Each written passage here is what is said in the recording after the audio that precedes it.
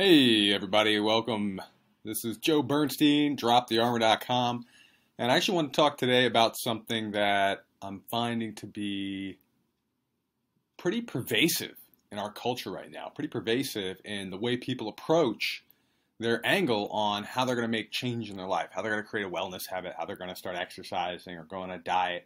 It's come up a lot in my life, and it's come up a lot in the coaching experiences I've had so far with the 10 folks I've started coaching for free.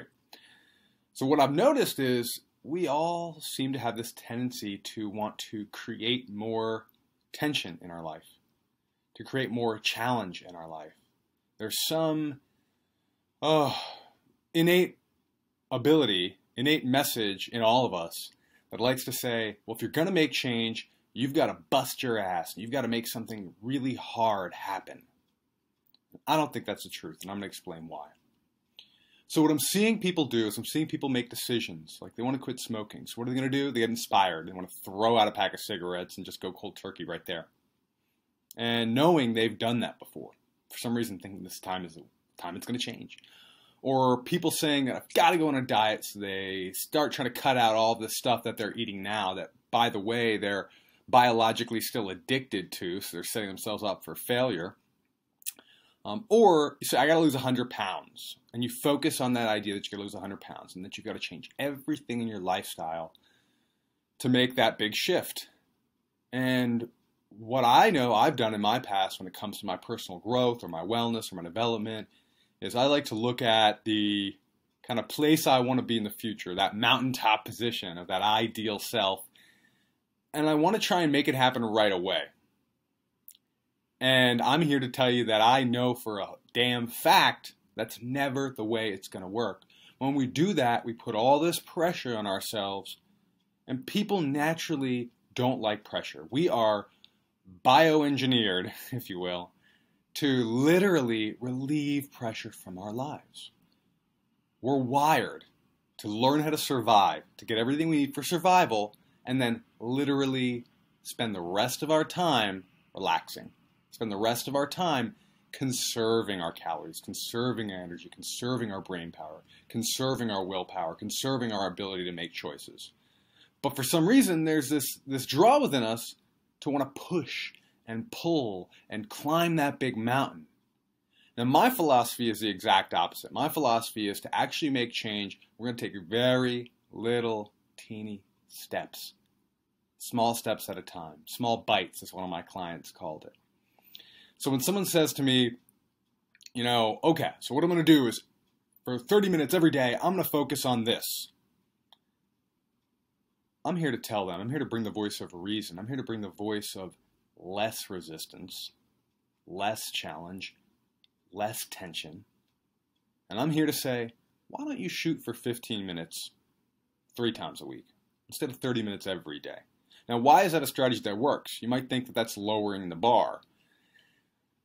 In a way, it is. In a way, it's lowering the bar. But what it's doing is it's providing us an opportunity to win and an opportunity for us to create the satisfaction of accomplishing our goals. Now, I don't want to stop anyone. If someone says, I want to do something for 15 minutes every single day, I'm going to tell them, great. Your goal is to do it for 15 minutes, three days a week. And if you still feel energy to keep going, then you're going to do 30 minutes. Are you going to do a fourth day or a fifth day or a sixth day? Don't stop the progress if it's happening, but don't create such a stretch that there's tension in our lives. Now, this goes back to kind of a concept that I believe in. I'm a big fan of archetypal psychology.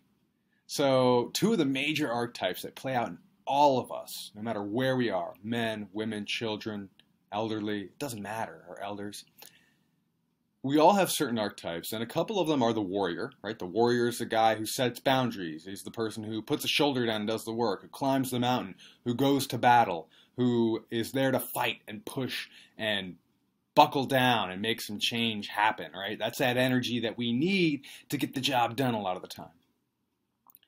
And there's also magician energy. Magician energy is the energy of transformation. It's the energy of going inside. It's the energy of stopping and thinking and coming up with a strategy that's actually going to work. It's the energy of introspection. Now, there's a reason that the warrior energy is called the warrior, right? The warrior archetype. They're the one who puts the shoulder down, who wields the sword, who gets the job done, who goes to battle, who goes to war.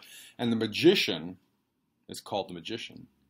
When we want to make big changes in our lives, it's like fucking magic, okay? And I don't say that lightly because so many people want to make changes in their lives and they have these goals on their plate for 5, 10, 15, 20 years. For some reason, it's not happening. Now, that to me sounds like magic. If I want to make something happen, if I want to make something appear, if I want to be the alchemist in my life, if you will, and I've tried or I've had thought put around it for years and it's not happening, then to make it happen really is magic. So we call the magician the magician for a reason, right? The magician is the one who figures it all out.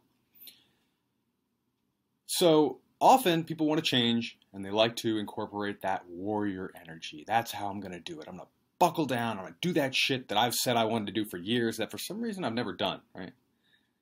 And I'm here to tell you that's not where it happens. The change, the transition, the introspection, that happens within our magician energy. Our magician figures out what's wrong. Our magician gets mindful. Our magician gets curious. Our magician gets inquisitive. And a magician often at times can also be like a scientist someone who does experiments, someone who's trying to make something happen, someone who's trying to make something out of nothing. So that's what I see happening. I see people creating all this resistance, you know? I'm not exercising at all right now, but what I'm going to do is I'm going to get up and I'm going to jog every morning for 20 minutes. No, you're not. You're not going to do that. And it's really honorable to think that you are but the reality is, you are probably not. Some people can go out there and say, I'm going to make a change, and there's this big catalyst in their life that allows them to make the change. Maybe there's some trauma that happens that says, you got to make a change right now, and it imprints on their neurobiology and it just makes a change. But for most of us, that's not how it's going to happen. For most of us, it's going to happen by taking those small steps, by taking those small bites. I'll give you an example, right? Or, or actually give a metaphor. The way I see it is, we're always telling ourselves, oh, I can eat this, I can't eat that. Even though stuff I love is on the I can't eat that list. So we create all this tension. Well, I can't eat it. I can't eat it. I can't eat it. So you're good for a while.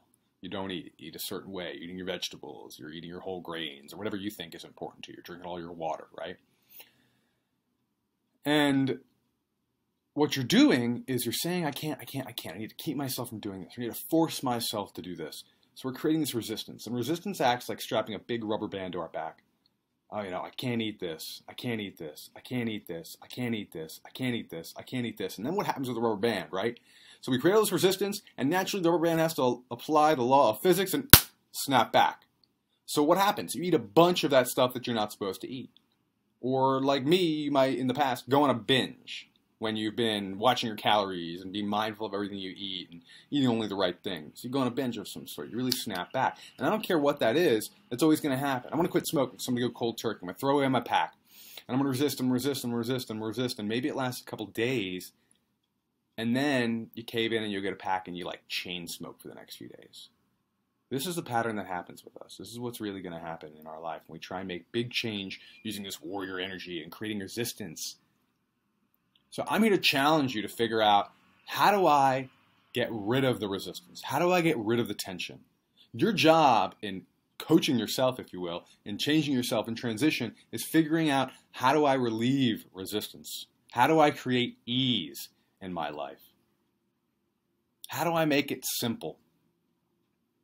So I like to focus on including things in our life, not taking things away from our life, right? So you don't have to stop eating fried food. You don't have to stop eating sugar or your high carbs. You don't have to stop eating meat. But start eating some vegetables. Figure out, get curious. Get rid of that old message, those old stories that your five year old self taught you about not liking vegetables. And go buy some and try them. Cook them different ways. Try them raw, stir fry them, steam them. Just give it a shot. Get inquisitive, have fun. Start to become the scientist, start to become the magician in your own life and find ways to ease the tension, right? To ease the tension. Whatever you say you want to go do to make a big change in your life for your fitness, take it Cut it in half, make it simpler.